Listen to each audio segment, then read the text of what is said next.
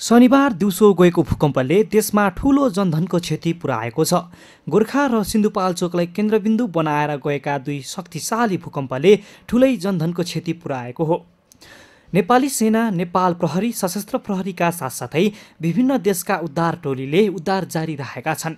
शनिबार दिउँसो सात दशमलव छ रेक्टर स्केलको भूकम्प गएको थियो भने त्यसपछि प्रशस्तै भूकम्पको धक्का महसुस सबैले गरेका थिए।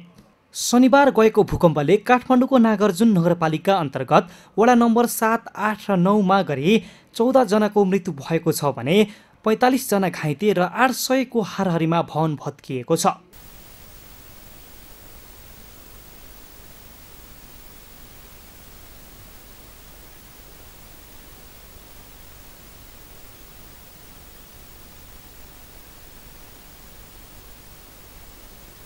महाभूकम्पले ल्याएको राष्ट्रिय विपत्तिमा रामकोटका भूकम्पबाट पीडित भएकालाई सरकारले उद्धारमा केही पनि नगरेको भन्दै स्थानीय बासिन्दाहरू गुनासो पोखिरहेका छन्। भूकम्पले घर भत्किएर पीडित भएकालाई वर्षाबाट बच्नका लागि पाल र खाद्यान्नको व्यवस्था नगरेको भन्दै सरकारप्रति आक्रोश पोखिरहेका छन्।